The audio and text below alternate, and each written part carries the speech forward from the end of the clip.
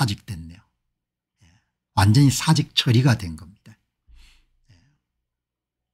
이제 1만 1732명을 대개 예, 한 4로 나누게 되면 은 3천 명 가까이 나오지 않습니까 그 매년 전문의가 평균 3천 명 정도 배출이 된 겁니다. 이 가운데 4분의 1만큼 매년 전문의가 배출이 된 겁니다. 그 이야기는 이제 사직 전공의가 예, 다 떠났기 때문에 이제 내년부터는 이 3천 명이 뭐 몇십 명 단위로 줄어드는 거죠 전문의가.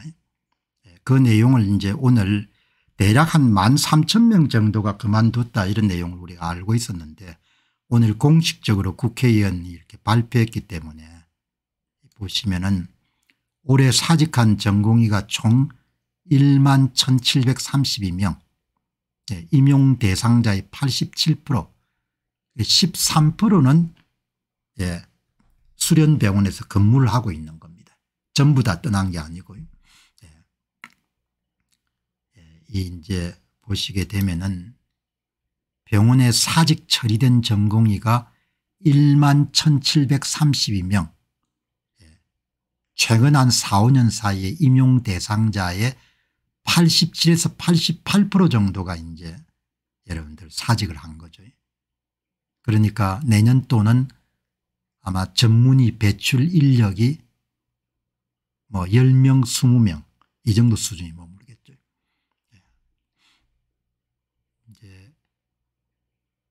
이천 사직 전공의는 이전에도 있었네요. 예, 뭐 예를 전공 분야가 마음에 안 들든지 그렇게 하면 사직을 할 거 아닙니까 대개 200명 단위가 있었습니다. 2021년도 사직자가 278명 전공의 가운데 그게 한 3,000명 정도가 들어와 가지고 278명 238명 2023년도 226명 그런데 이제 2024년도에는 11,732명이 그만둔 거죠. 한 6배 정도가 그만둔 겁니다. 예. 이제 임용 대상자 수는 2021년도에 13,517명 2022년도에 13,505명 2023년도에 13,480명 예. 그렇게 대개 한 13,500명 내외로 수련병원에서 전공의를 모집했고 그 가운데 매년 자연스럽게 사직하는 사람 비중이 200명에 300명이었는데 2024년에는 예, 의료 사태가 발생하고 나서 11,730명이 그만둔 초유의 사태가 발생한 거죠. 이분들은 완전히 떠난 겁니다. 왜냐하면 6월 달에 사직서를 다 처리했기 때문에 2월 6일 날 집단 사직서 수리 금지 명령을 내려 가지고 사직서를 갖고 있다가 그 다음에 여러분들 이제 6월 달에 일괄 사직 처리를 한 거죠. 예. 자 그러니까 이 자료를 보시게 되면은 이제 2021년도에 그게 13,500명 정도를 매년 수련병원에 전공의를 뽑았네요. 예. 그리고 이 가운데 3,000명 정도가 매년 전문의로 배출이 됐던 겁니다. 2021년부터 2023년까지 개인적인 이유로 이런 전공의를 사직한 사람들이 이렇게 200명 내외였네. 이게 2024년도에 11,732명으로 늘어난 겁니다. 그러니까 이거는 바로 이런 뭘 이야기하는 거 하니까 전공의 배출이 한 단위 숫자로 줄어들거나 두 단위 숫자로 줄어드는 것을 뜻하는 거죠. 굉장히 중요한 그런 예, 그러니까 이번 이제 예, 국회의원 자료를 통해 가지고 확정한 겁니다. 11,732명 사직 처리 그 이전에는 대개 200명대 수준으로 사직 처리가 됐다. 이렇게 보시면 되고 예, 어쨌든 우리나라에 여러분들 보시면은 정문의들이 매년 한 3천 명 정도가 배출이 되네요. 치과의사가 한 700명에서 800명 한의사가 700에서 한 800명 약사가 1818명 그 시장이 포화가 될 수밖에 없을 것 같네요. 예. 그 의료 인력이 이렇게 계속 배출이 돼 나오는 겁니다.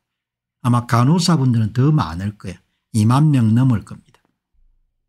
예. 이제 이번에 이게 주는 메시지가 뭔가 하니까 2025년도에 전문의 배출이 거의 없을 거라는 거죠.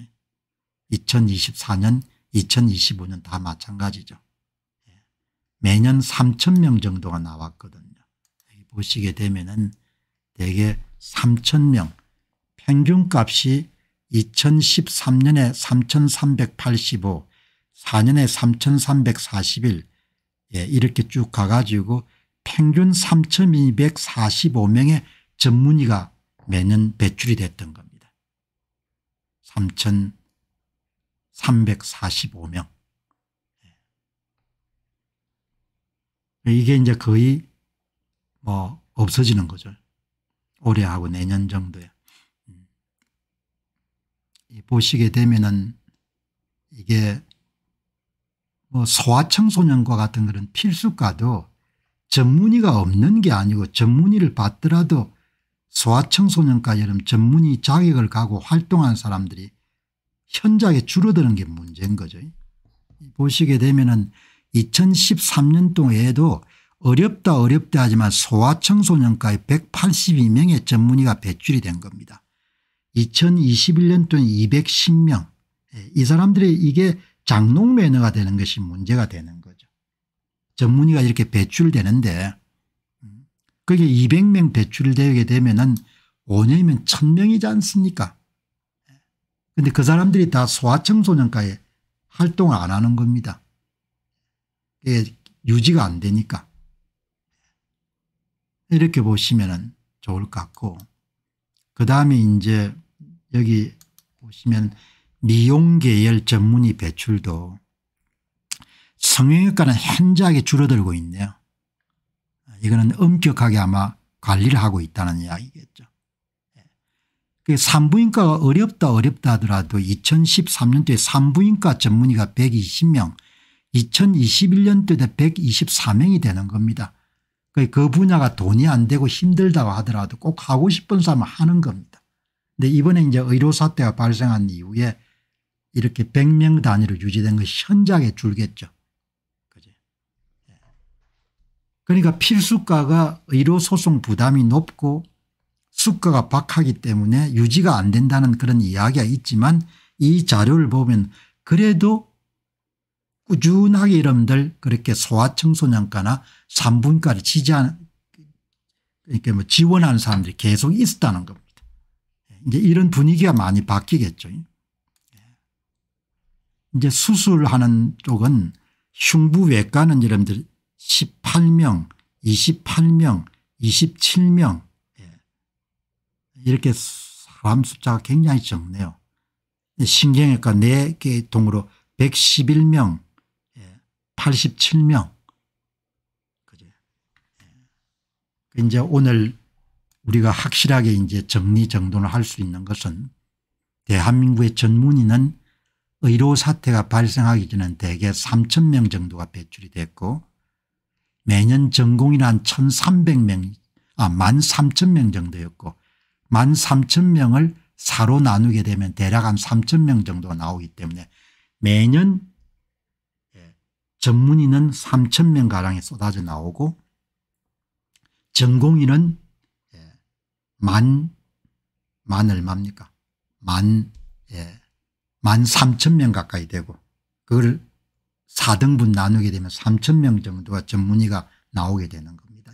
그런데 이제 이번 사태 이후에 11,730명이 그만뒀기 때문에 그럼 이제 남은 사람들 얼마 안 되죠. 13,000명에서 11,732명을 빼면은 대개 200, 아, 130명 정도 남았기 때문에 130명 정도가 남았기 때문에 130명을 4로 나누면 20명 정도 되는 내년 또 전문의는 20명으로 3 0명에서 20명으로 급감하는 겁니다. 예. 이렇게 매년 3천 명이 나왔는데 3천 명이 20명 단위로 전문의 배출이 급감하는 거죠.